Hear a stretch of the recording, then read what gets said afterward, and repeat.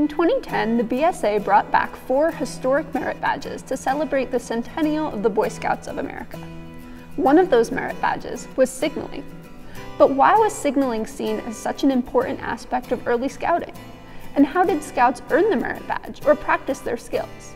Find out in this installment of Artifact of the Week.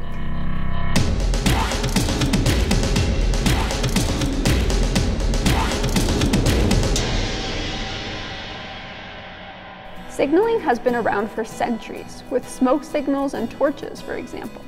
The semaphore signal flags that we know today originated in 1870s France during the French Revolution. Claude Chappe created a semaphore tower, which was a series of towers equipped with arms that could be positioned to create different shapes. Each shape represented a different letter of the alphabet.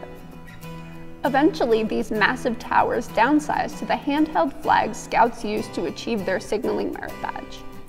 According to the Signaling Merit Badge pamphlet, scouts must send and receive by semaphore code at the rate of not less than 30 letters per minute. Achieving that feat is where toys and memorization techniques come into play. In 1915, signal discs were made to teach and practice semaphore codes. The discs rotate to reveal different code shapes so that scouts could quiz themselves. In the 1950s, the company Britain created a set of Boy Scout signalers, five metal figurines with movable arms holding flags to shape into semaphore codes. Scouts not only need to know semaphore code to earn their signaling merit badge, but must also demonstrate an ability to send and receive a message in the International Morse code by wigwag and by blinker or by other light signaling device at the rate of not less than 20 letters per minute. Morse code evolved after semaphore because of security issues with semaphore. Anyone who saw the flags could interpret the message, and the code was futile in the dark or bad weather. Samuel Morse helped to invent the telegraph and Morse code, a way to transmit electrical messages across a wire through a system of dots and dashes.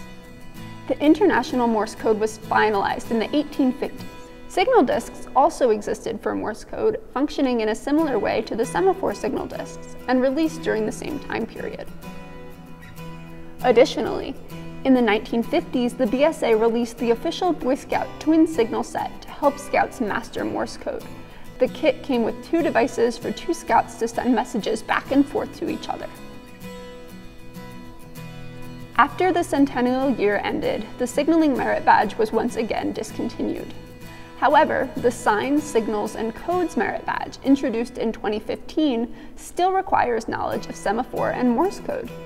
These codes enable Scouts to communicate without reliance on modern technology.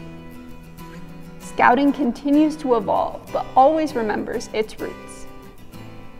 That is all for today. Please join us again as we showcase more artifacts and history from the National Scouting Museum at Philmont Scout Ranch.